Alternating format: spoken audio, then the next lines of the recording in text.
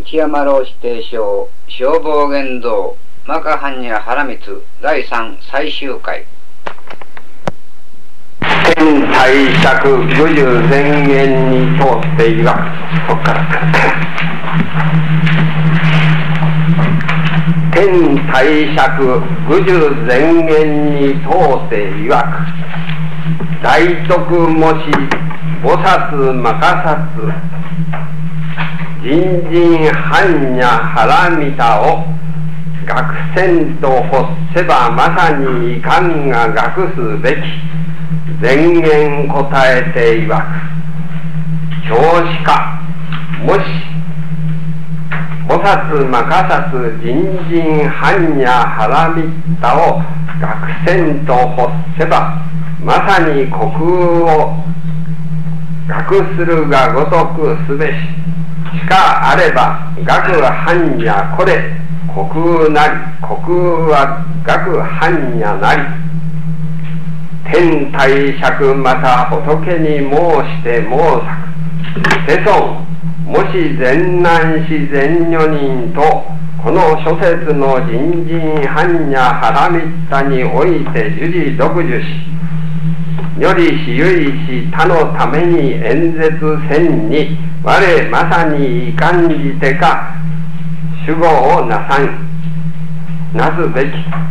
ただ願わくば世尊憐れみをため垂れて自供したまえ。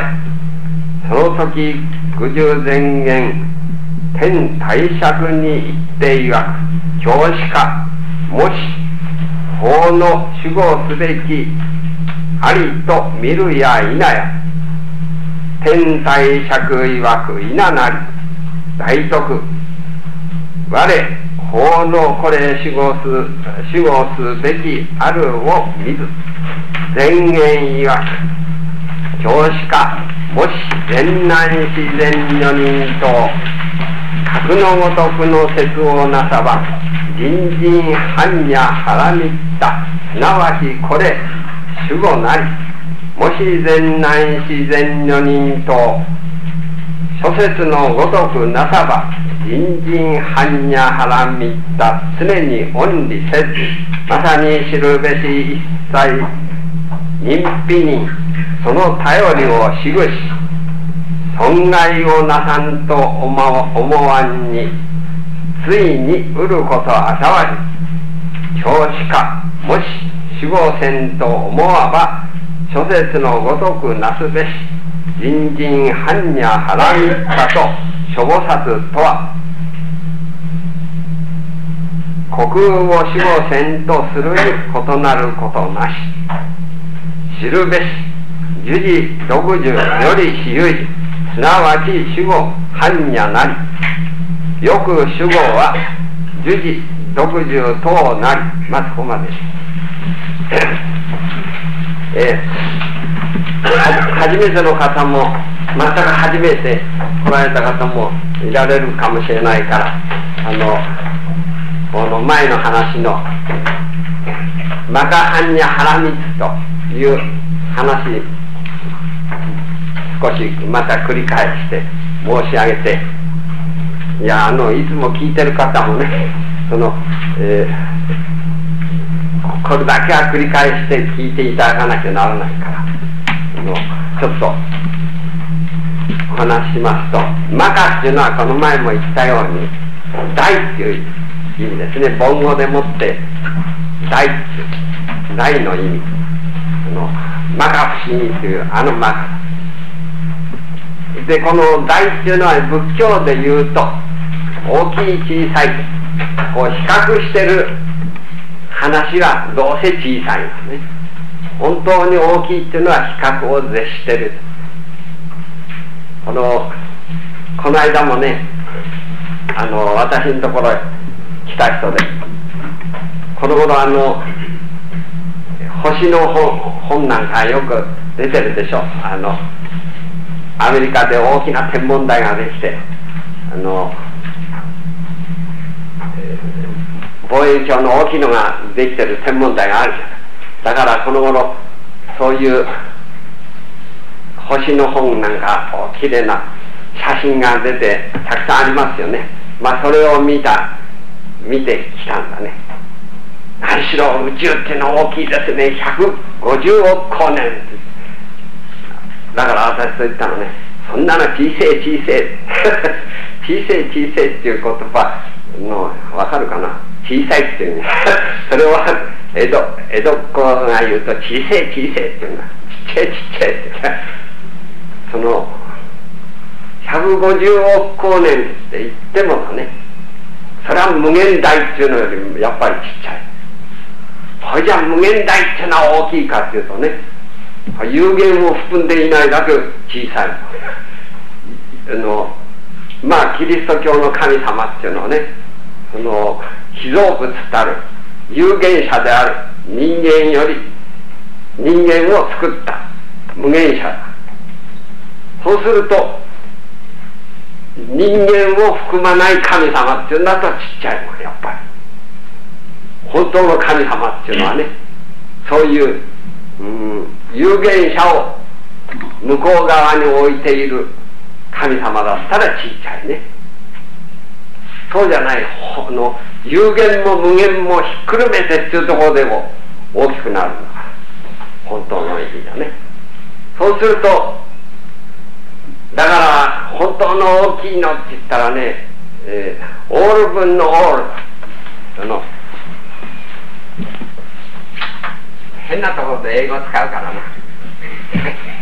オール分のオール。ここれが一番大きいんだね。これを人一切生命っていう人一切っていうそのあらゆるものっていうそれをひっくるめてるっていうのはね。これはもう人一切っていう時にはのこれってこうつまんで取り立ててねこれが神様っていうそうそういうふうに持ち出すことできないものっていうようなね。ありきりのあるもの。それでオール分のオールっていうのはねイコール1っていうんだ。これは1だ。でこのこの1がね本当は人一切である。だからねこれを人一切自己っていうね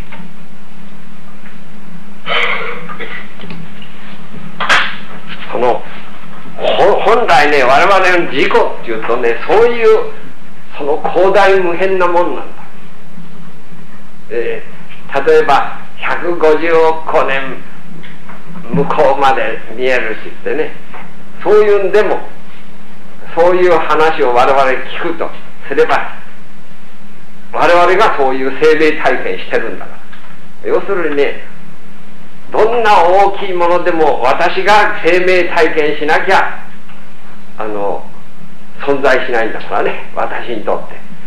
私がそういう話を我々の場合はただ話を聞く程度だ。天文学者は一生懸命そ望遠鏡でもってそれ見てそれでそういう体験するかもしれない。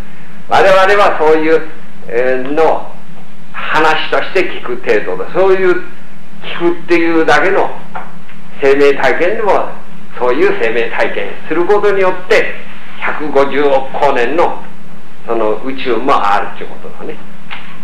それで何これ150億光年って言うんでも私いい加減なもんだと思うね。の私の学生学生自分の天文学の本だとせいぜい10億光年ぐらいがその限度だったんだからね。それがこれあれすると今度150億光年っていうこの頃はそうなってきたんだ。そうするとまた しばらく経つとまた違うんじゃないかと思うね。同世界の科学の話なんていうのはねその時その時の話なんで。もう自然科学っていうのは絶対だと思ってる人がいるもんね。そういうまあそれだけ頭がお粗末っていうんだとそうじゃないんです。どうせ自然科学っていうのはその時その時だ。で今150億光年のあれがだんだん膨張していくって言ってね言うけれどのそういう生命体験する限りそうなんです。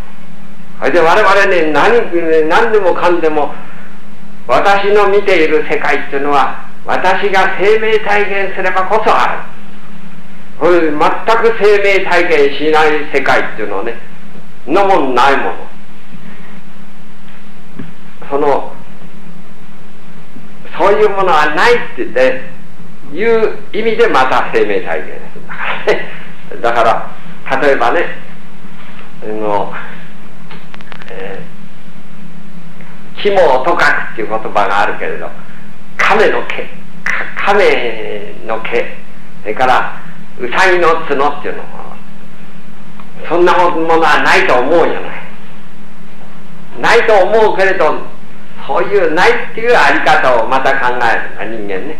考えるっていうだけは生命体験そうするとそういう意味においてあるね。であらゆるものはね私が生命体験すればこそある。そういうような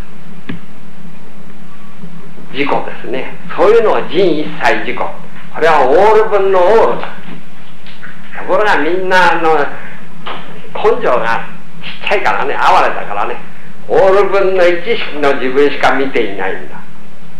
これがまあどうしてそんな哀れなことになっちゃったんだって話は手を取ってその一緒に泣いてやりたいような気持ちが 本当は誰でも彼でもオール分のオールですよ。それを全く自覚していない。でこのオール分のオールっていう生のね生命体験っていう。これはあらゆる世界の実物だ。あらゆる世界と共にある。それで普通我々が考えている世界っていうのはどうせね抽象的なえー、その抽象的世界しか見ていないわけですね。のいつも私が言うけれどコップ一つでもこれコップって言ったこれみんなこの同じコップ見てると思ってんだ。ところがそうじゃない。私は私の面でそして私の視力でそれで見てる。でこれだけの人がいてもみんなおのおのみんな違ったコップ生命体験としては違った生命体験してるはずだ。結局ね。でコップだけに限らないあらゆるものがみんなそうなんだからね。みんな私とあなたと見てる世界違う。そして言葉でさえもね同じ言葉今私が喋ってると皆さんに通じてるようだけど本当は通じてやいないんだ。私の喋ってるその現生ああなた方聞いてるしかしそのおそらく理解されてないと思う。それでその点は違った意味で、えー、理解してんだと思う。でどうせね私は私義理の世界。皆さんは皆さん義理の世界ね。そうするとお前はそれじゃあのうん何のため喋ってんだってね。通じもしないもの喋ってんのかって。そそうです。私はね私義理の世界の中に皆さんの顔が現れてんだもんこれね。そうすると皆さんの顔を見ながらしかしこれは私に映った私の生命体験の中に映った皆さんの顔だ。それを見ながら私ができるだけ皆さんが分かったような顔をするしやしないかと思って一生懸命私が私に納得するために喋ってんだね。これ自己切りの事故です。人一切事故だ。ほと皆さんもねあの全く自己切りの事故なんだ。決してね、うん、他とのその取引は全くない世界ね。これが大ですでそういう世界ってものになってくると自分義理の世界なんでこれを本当はみんなね持って生まれてくんだ。そして死ぬ時には持って死んでくんだ。普通はあそうそうは思ってないでしょ。ほきゃって生まれてくるとこの世界へその登場したんだと思う。そして死ぬ時にはこの世界から退場したんだと思う。一つの世界を具体的なものだと思ってる。そうじゃない。私は私義理の体験する世界と共にあるとすれば私が生まれてくる時は私の世界を持って生まれてくる。そして死ぬ時には私の世界を持って死んでくる。こういうことね。そういうのを人一切生命っていうんだね。この人一切生命っていう限りね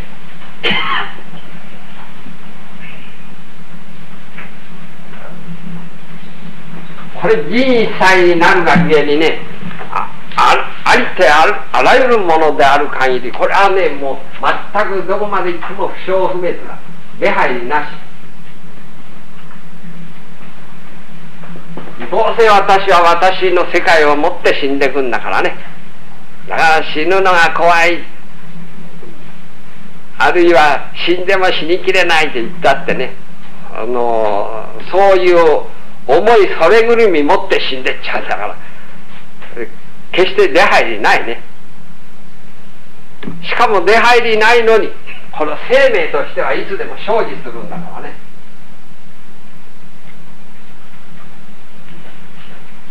生命っていうのは生きてくると同時に死ぬ。それを通みんなが考えてるのは生存だけ考えてて死ぬってことはなるべく蓋してるから本当の生命が分かんない。いや私がいつも言うけれどあのこの人生っていうものをねもっとはっきりすっきり分からなきゃならないはずなんだ。それみんなわからないっていうのは死ぬってことを蓋してて生きてるってことだけ考えてるから人生っていうのはわかんない。あのパッとこう死ぬっていうことも蓋取って死ぬことぐるみの生命を考えることによって生命がはっきりしてくる。それで今あれなのはその人一切生命人一切生命を我々生きてんです人一切自己が。そういうのは不生不滅のところに消滅する。消滅しながら本当は不生不滅だこれが本当の生命のあり方ですね。それが魔化っていうことね。魔化っていうのはだから普通大きいってぐらいのこと言ってるけど仏教で言うと途方もない意味持ってるんだ。バカっていう。一時でね。この仏教っていうのはもう 宗教は本その点本当に大きい優粋なとこなんですね。それからその次般若っていう。これは般若っていうと般若のお面かと思うけどそうじゃないね。般若っていうのは本当本来知恵ってい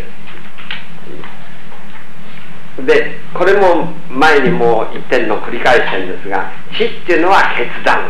決断の意味。から「え」っていうのは干拓の意味。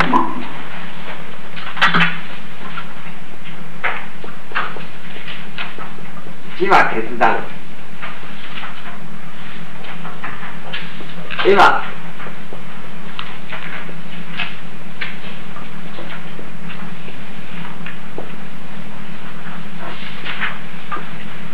選択要するに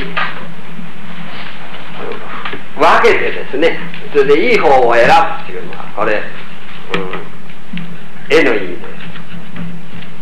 す。で結局我々ね生きてるってことはねいつでもあれかこれかっていうんだね。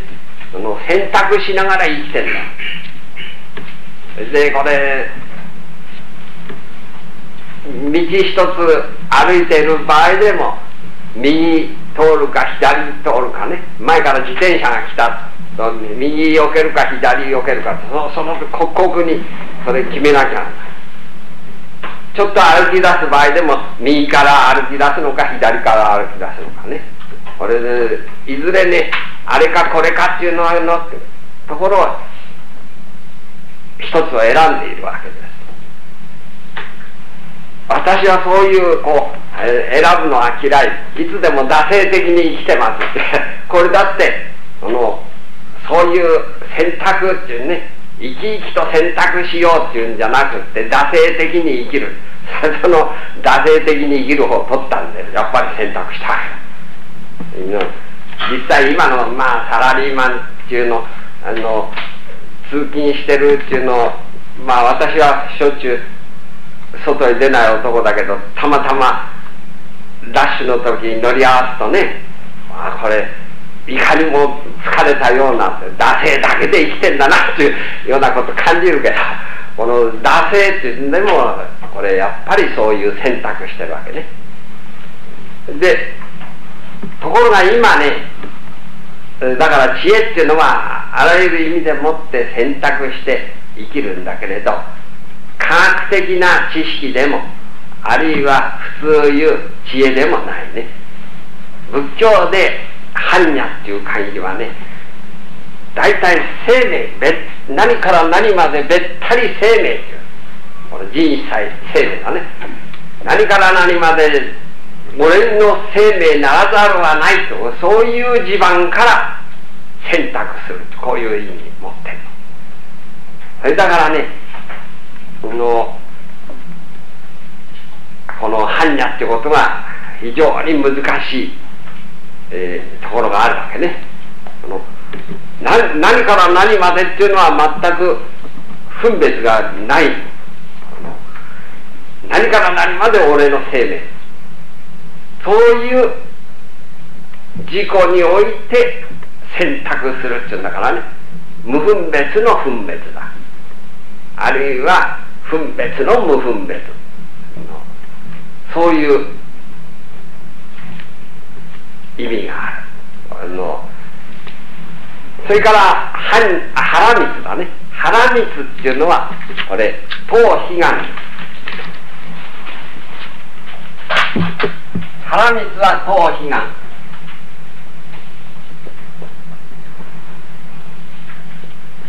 悲願に至るってことね。あるいはどうということ。これ結局はね行き着くところ行き着いたっていうことです。成就っていう意味だ一つの。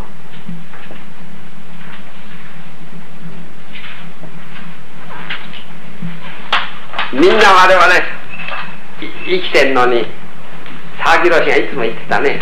中途半端いい加減ごまかし不十分ってこれ一 あの、えー、一息にいつでも沢木郎氏が言ってた中途半端だもんね本当に。みんな中途半端なとこで生きてあのほにゃって生まれてくると雨でたいって言っていやあの大体がその男の人と女の人と結婚するってね。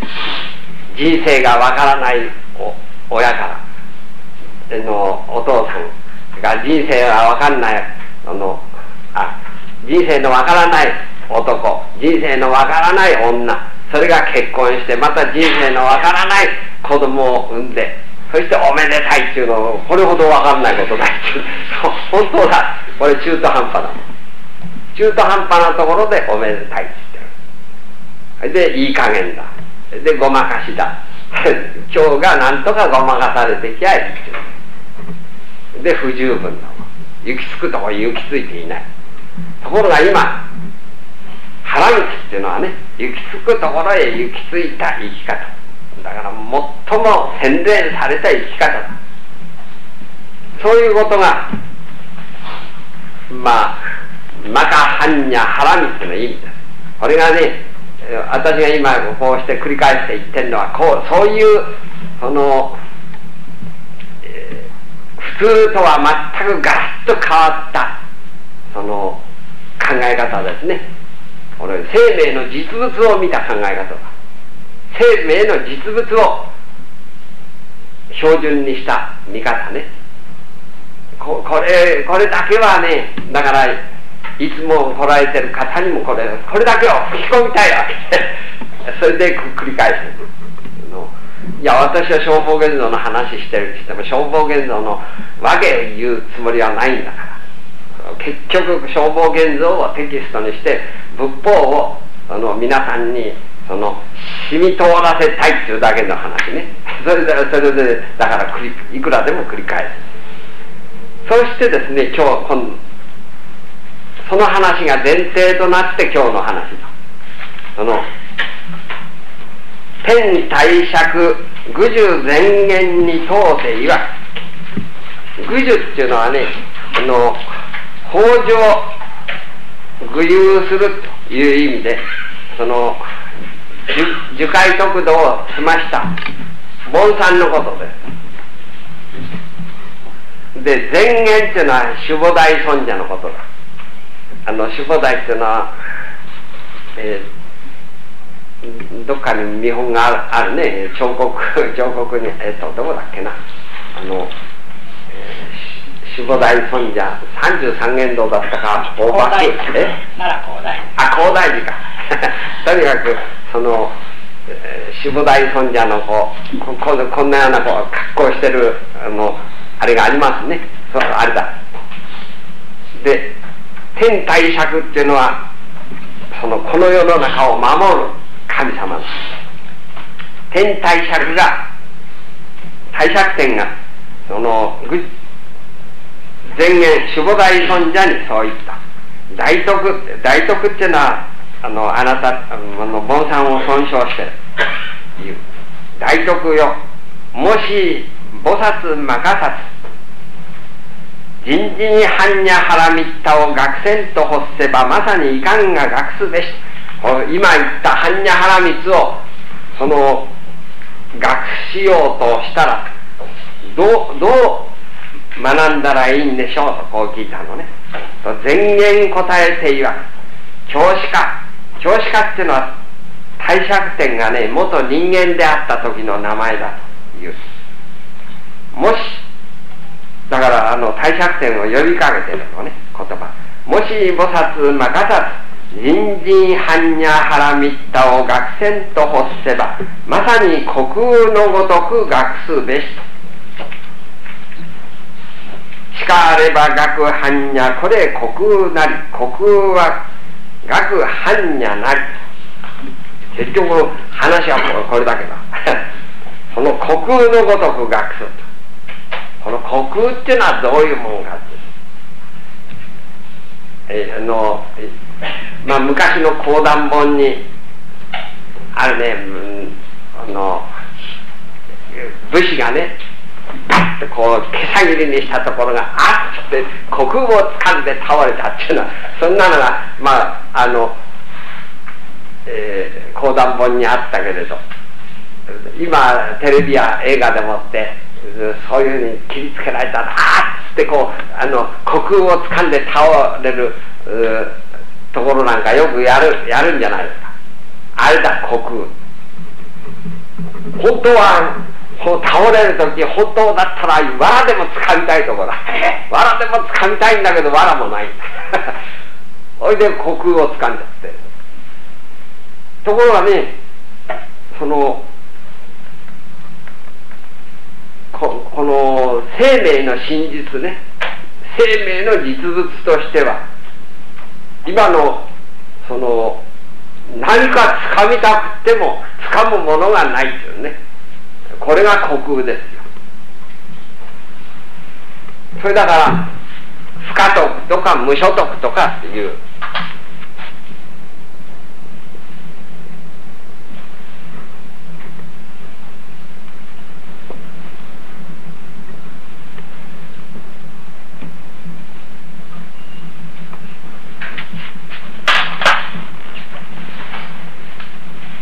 ところが普段の我々はそのいつでも目の前に何か使うものがあるもんね。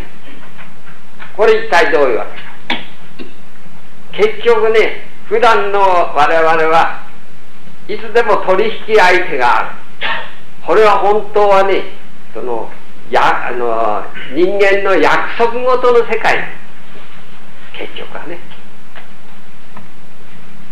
それで我々そういう人間の約束ごとの世界に慣れすぎてる。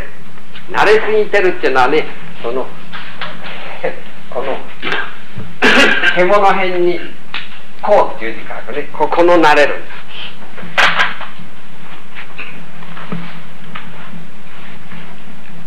で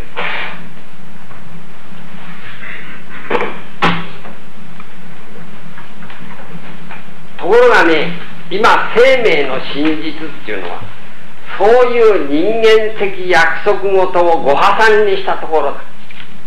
全くそういうのはご破産で願いましてはってみんなバラになるでしょ。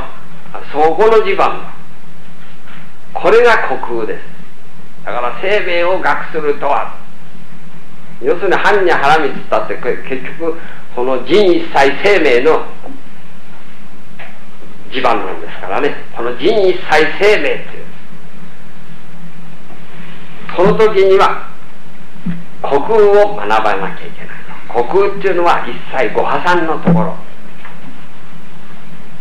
例えばねまあ人間の約束事の世界からいやの歩道を歩いてればね交通事故に遭わないはずなんだ本当は。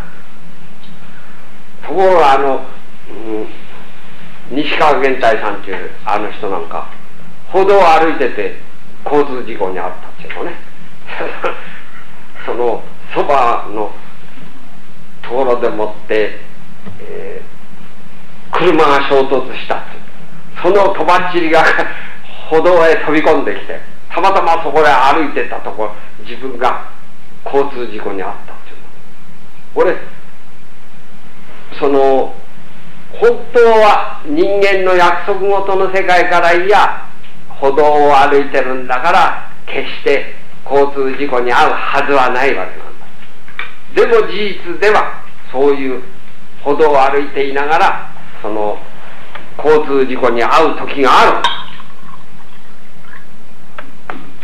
それはねキリスト教の聖書にねその神は何事も成し当たるっていう言葉あるけどね私あの言葉あのいつもその何かにつけて神は何事も成し当たると思うね。それでそれはね例えばその禅宗の盆さんいわゆるの禅宗の盆さんが悟り開いたって言ってもね悟り開いたからもう大丈夫って言って言う言う人もいるじゃない。そんなの神は何事もなし当たって言ってそんな悟り恥に飛ばすのわけはないんだと思う。私は神は何事もなし当たるんだってことね。でな悟りぐらい開いて威張ってるっていうのはねそれはその神の神を恐れない行為だと思う。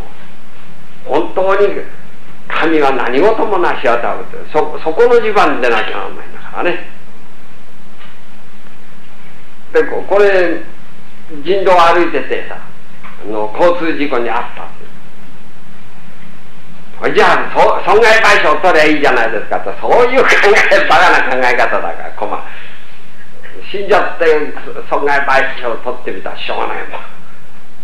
それの生命の実物っていう地盤から言ったらねもう本当にあ落語でもね天才っていう落語があるじゃない。もう天才ってなったらしょうがない。この天の仕事はね神様の仕事。それからまたあれですね病気し病気ってやつは何か不健全な生活をしてしたから病気になるんだ。でいつも健全な生活してりゃ病気にはなるはずはないってまあそう一応は言えるね。しかしながら本当はそうでないと思う。そんな健全な生活をしていながらやっぱり病気の時は病気だ。なることあるのは事実それをねそのみんな病気はね病気する人はね自業自得だ。勝手に病気しろってこれはね病気したやつ病気したことのない人の無慈悲な白状な言葉でしかない自己弁解でしかないと思う。病人に看病するの面倒くさいもんだから それでもって勝手に病気してる。そのどうせ自業自得だって。まあそれで逃れようとするんだね。ところがそうじゃないもの。本当はいくらねこれ人間の行為とは自業自得とは別に病気する時は病気することもあるんだしで病人には親切にしてやらなきゃならないっていうそれが生命ってもんだと思うね。それでだからまあ病気したことのない人間とは友達になるなんて 確かにそうだと思います。でこれこれも仏の恩を計らい。神は何事もなしあたおんだからそう簡単に。健全な生活してりゃ病気にならないって一言で言い切れないと思いますそれと同じようにね修行でもそうだ。あるいは研究でも商売でもそうだと思うけれどこれだけ一生懸命勤めてるのにまだちっとも誰も認めてくれないとこう言いたくなるもんね。そのだからあの石川啄木の歌にも何て言うの働けど働けど暮らし楽にならざり我が手じっと見るとかなんとかいう歌があるじゃない。本当にねいくらやったってそのその効果のないと。いうこれは必ずある。それでこれだけ一生懸命やってるのにねもう力尽きた。じゃあやめるって言った。らもうやめた時に何みんながこう認めてくれる時がある。これおかしいね。そんなら初めからやめといてあの人に認められることにしようって言った。らそれじゃ誰も認めてくれない。これもうそのおかしなとこがあると思う。私もねあの私の一生でもって勤めたことのある固定収入を得たのはキリスト教のカトリックの進学校に半年勤めただけが私のサラリーの入った唯一の時ですがね。その、うん、進学校時代ね、うん、その南洋の工学か工サイパンのね工学校っていうのが出てきてたビセンテっていうの。これはどうしてもね普通のあの他の生徒とどうしてもついていかれないんだ。工学校っていうのは小学校よりもあの程度が低かったらしいね。だから小学校出てきてるのが中学1年。それに対して工学校出てって言ってじゃあ追いつかないんだ。それでねそれともう一人時田君っていうのがいたけどこれもねどういう加減だかこれは日本人だったけどちっともできない。でリセンテ君と時田君をその、えー、後に残せ残してそして私が補習授業をやったのね。毎日毎日あの数学の。何しろ3分の1っていうそういう分数の概念がわからないんだからね。これ3つにこう分けてそれの1つっていうそういうのから一生懸命になって私はだからも人にものを分からせるのは割にうまいからね。それでこう事細かにこうあれして一生懸命やった。ところが一月以上もそういうようなの毎日やってもちっとも数学ができないね。それで、とうとう私も力尽きたような気がして。それでこう投げ出したもん。そしたらそれから以後ね今度ビセンテと時田っていうのぐんぐんねこの数学100点取るじゃない。これはみ私が苦心してたの他のクラスの生徒が知ってただけにねクラス全体が私を祝福してくれたの。こ妙なもんだなと思った。この生命ってやつは一生あのこれが自分が一生懸命やってる時これちっとも反応ない。ところがもう尽きたっていう気分でやめた時にぐんぐんこう伸び始めるっていうこともあるんだっていうことをねその時知ったんですがね。これだからね教師の努力が生徒をその成長させるんじゃないね。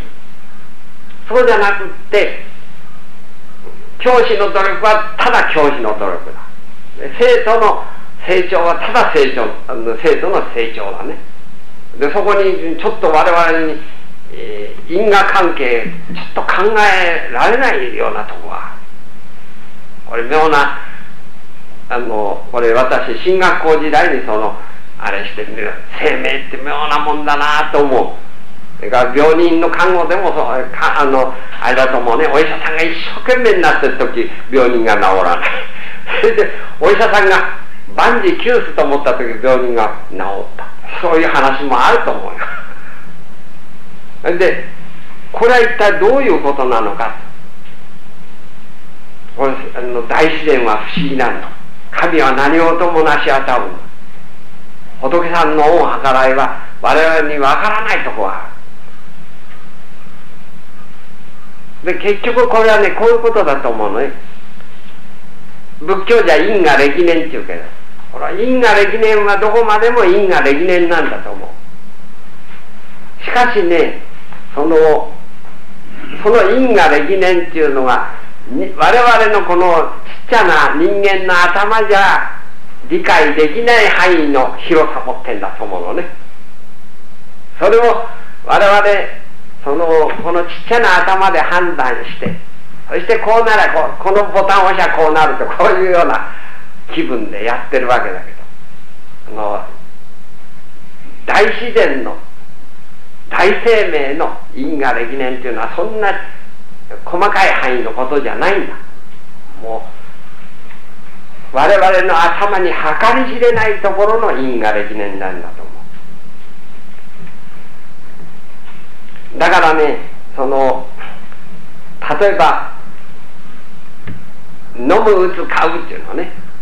そういう飲む打つ買うっていう荒れた生活からはね結局世当たりの生活でも楽生活がね苦しくなるのは当たり前だ。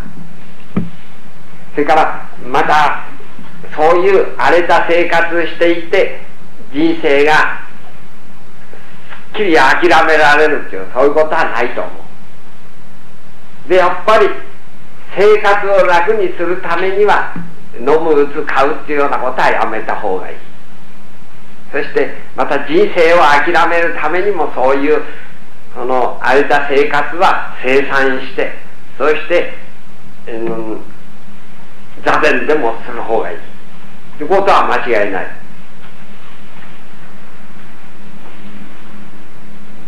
じゃあねその飲む打つ買うの生活をあのやめたらすぐ生活が楽になるかっていうとそうは決まらない。でしょ？それからまたね座禅すれば人生諦められるかっていうとそうとは決まらない。ここのところはねの必ずしもそう決まっていないというところがあの私の頭の頭の枠以上のことだ。思惑以上のことだ。私がいつもだから思惑っていうのをね私はいつもこの枠を書くけれどこの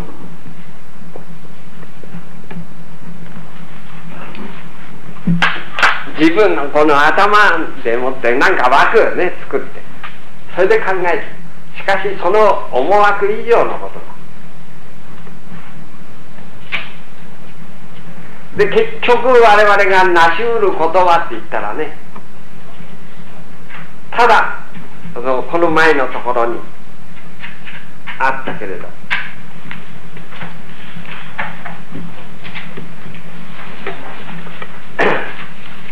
ニコンあのちょっとこの前の段ですね。ニコンの、えー、下の段の4行目のところ見てください。ニコンの1ビスの切磋ゼネンは処方を狂来するところに水無消滅の般若。これ狂来なり。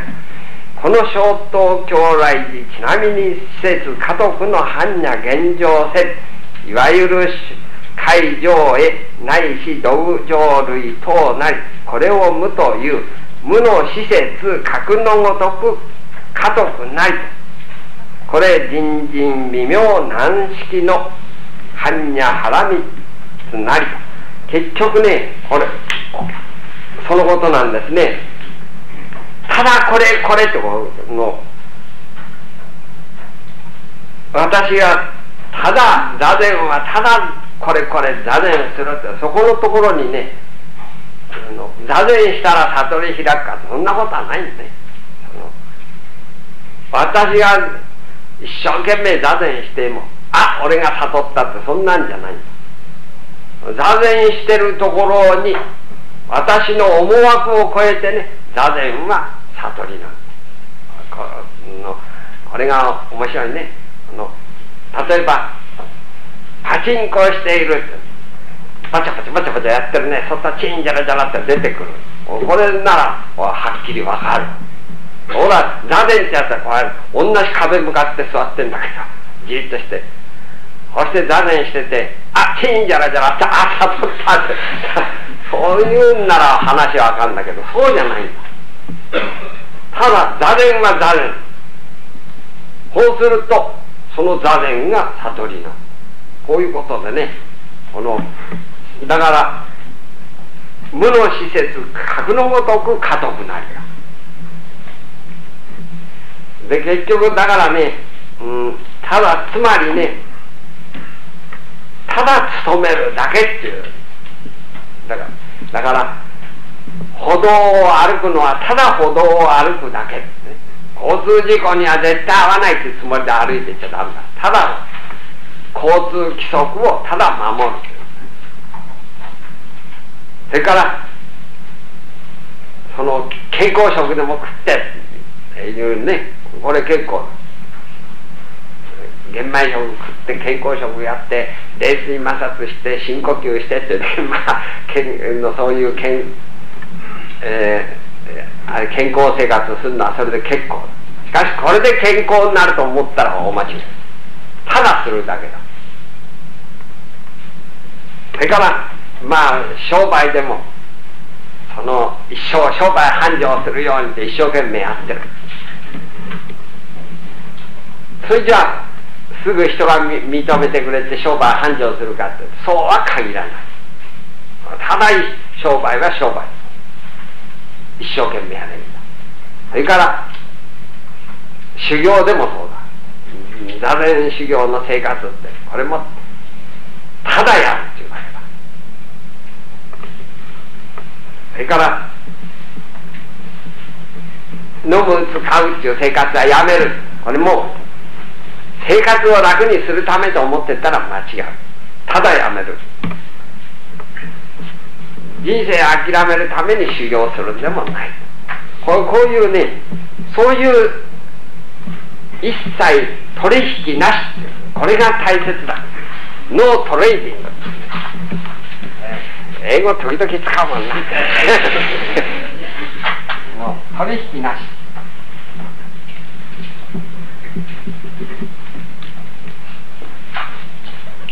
取引なしただこれこれと。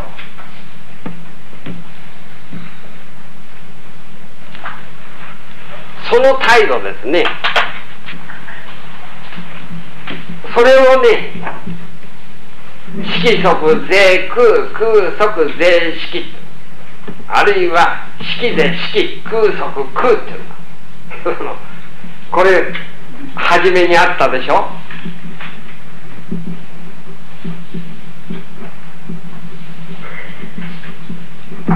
このマカハニャハラミの巻の初めのところ見てごらんなさい。漢字大菩薩の行人般若ハラミッタジは渾身の証券ご恩開空なり。ご恩は式重創業式なり。五枚の般若なり。証券これ般若なり。でこの終始の開演現状するにいわくこのねあの般若ハラミマカハンニャハラミチのねこの終始だ。それをその開いてそして現状するには色即税空なり空即税式なり式税式なり空即空なりこれねこれが道元禅師がそのマカハンニャのハンニャハラミツに対して加えられた注釈だね。いわばね。でこれこれが一番大切なの。式で式。空即空これはどういうことかっていうと今言う。取引なし。ただこれこれっていう。この態度。でこれをねまた不全なの首相っていうね。汚されない。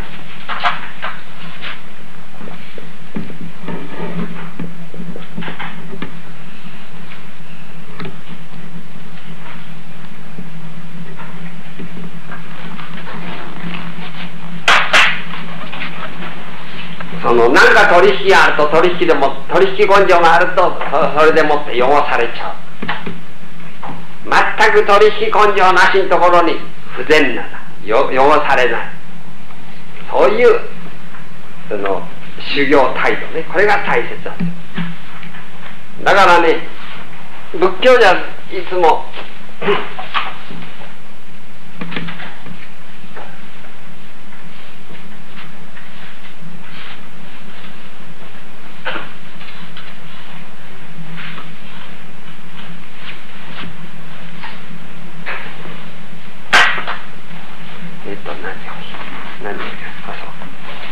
仏教ではいつも諸悪幕差修善奉行と。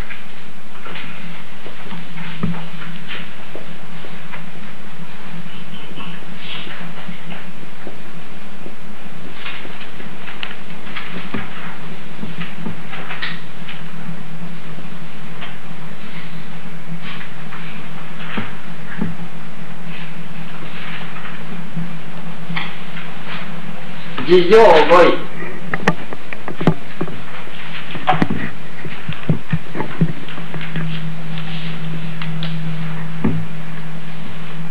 全書仏教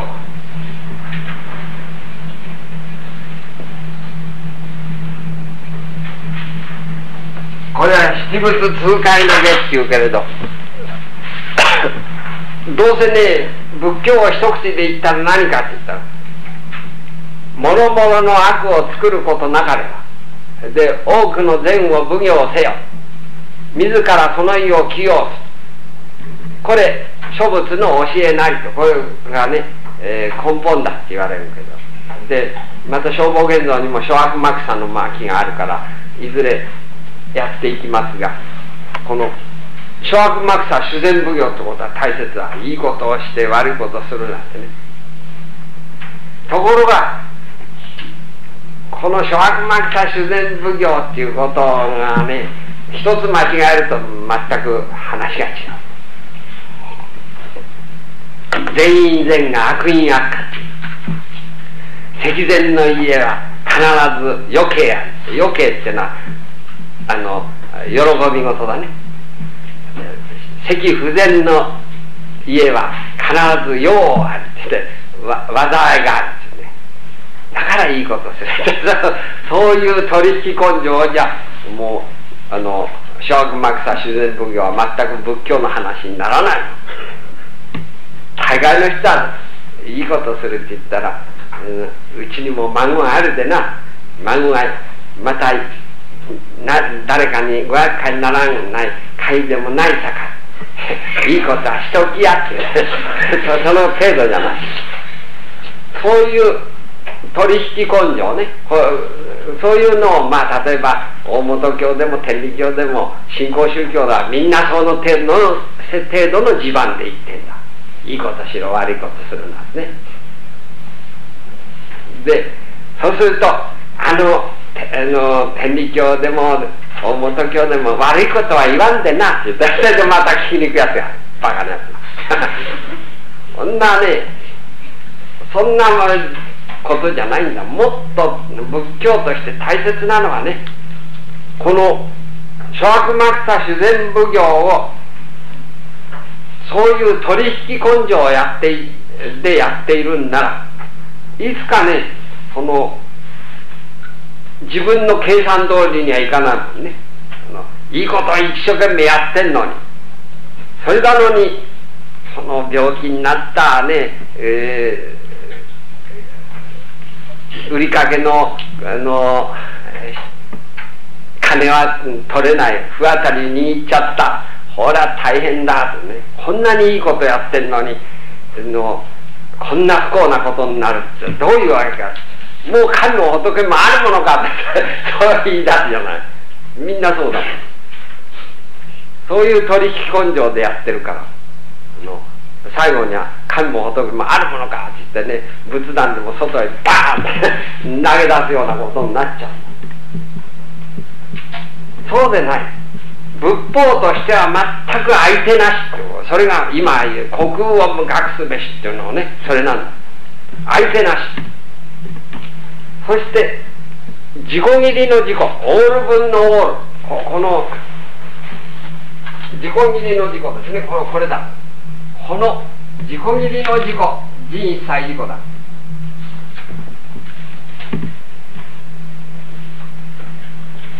この自己切りの自己のね内在構造です。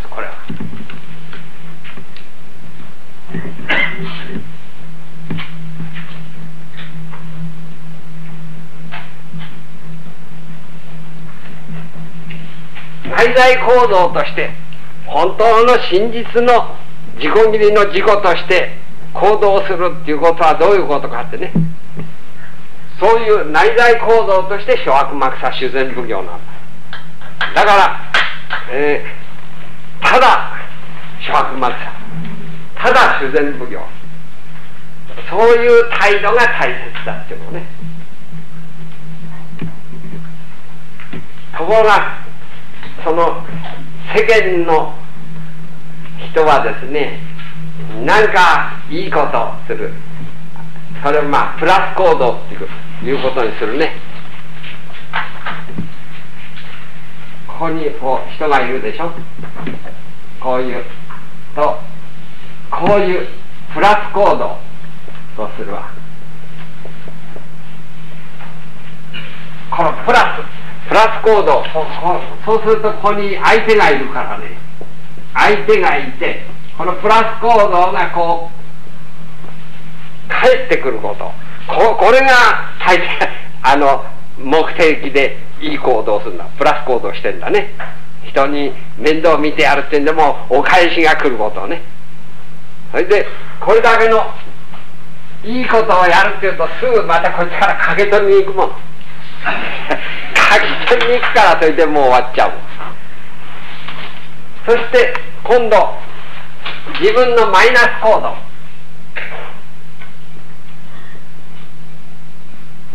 これはこれはなるべく袖の下でやるね。あのなるべななるべく人に知られないようにあのマイナス行動をするね。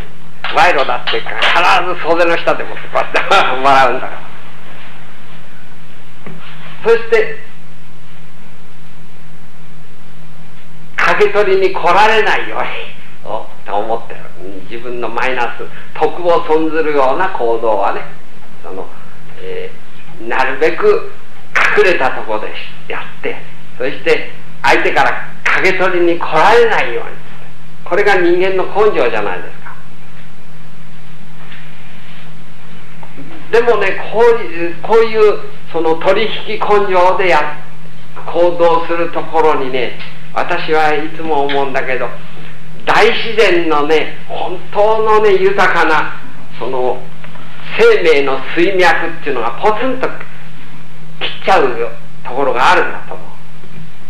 これちょうどね私は大垣にあの小畑へ移る前に大垣に2年住んでたけど大垣っていうところは水と大垣って言ってね水が非常に豊かなとこだったんですね。あの方々からその街歩いててもどこのうちにもそのこんこんとね吹き出し井戸が出て出てた。そしてあのそこでななんだっけくくず餅をね作ってそこへ入れとくと本当に冷えて美味しかったらしいねところが今の本当に街歩いてて1箇所か2箇所しかそういう吹き出し井戸がない。もう水脈切っちゃった。というのは工場を作って井戸を作ってこうポンプで吸い上げたでしょ。そういうことをしたらもう無限のこんこんと湧き出る生命の泉はポツンと水脈切っちゃうのそれと同じようなことね我々。そのよこせって言うから今度ポツンと切っちゃうね。でただやってるところにまたただ与えられるっていうね。あの無限の水脈があるんだと思う。それをまだって言って組み上げようとするから。よく出してね組み上げようとしたらもう恵みっていうことも出てこなくなっちゃう今だからその点みんな権利義務だけでいくでしょ？これ貧乏貧乏人根性ですよ。どうせ。まあそのその点今私なんかは豊かな人間だ。